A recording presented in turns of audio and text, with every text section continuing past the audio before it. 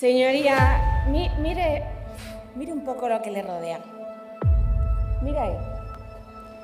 Mire a la reina Isabel, por ejemplo, por poner un ejemplo. Una de las creadoras de todo lo que conocemos. Esta mujer, Isabel, abolió la esclavitud 500 años antes que un hombre, que Lincoln. Nadie le rechistó.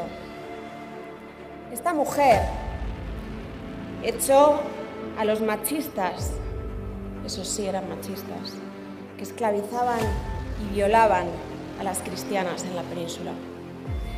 Esta mujer, señora ministra, esta mujer instituyó las santas hermandades para que los caminos fueran seguros y las mujeres pudieran transitar por ellos.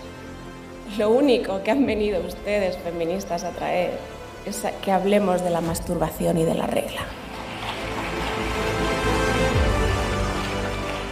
Señoría, la mujer, la mujer está en todos los altares de España y ustedes lo único que han venido a hacer es a profanarlos y a desnudarse delante de ellos.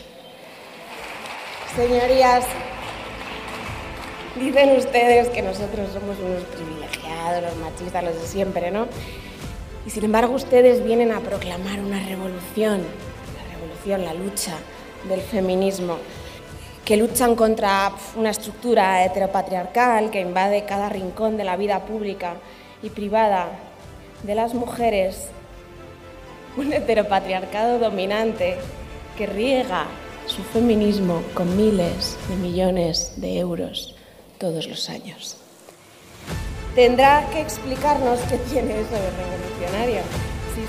Si, su revolución es la revolución del IBEX 35, es la revolución de Vanity Fair, es la revolución de Ana Patricia Botín. Pobrecita, banquera, oprimida por ser mujer.